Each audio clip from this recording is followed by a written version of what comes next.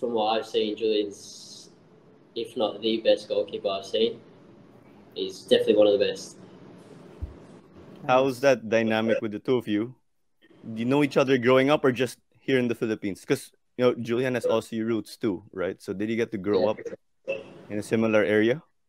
No, I've the first time meeting him was when I first moved out here, early August, if not late July, and ever since then we've just we've bonded really well.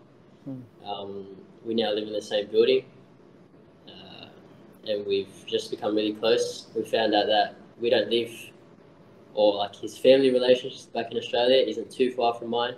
Oh. So maybe when one day when we're back in Australia together, we'll we'll go around, see everything. I'll show him around if he hasn't seen. But yeah, we've we've just become really great mates here.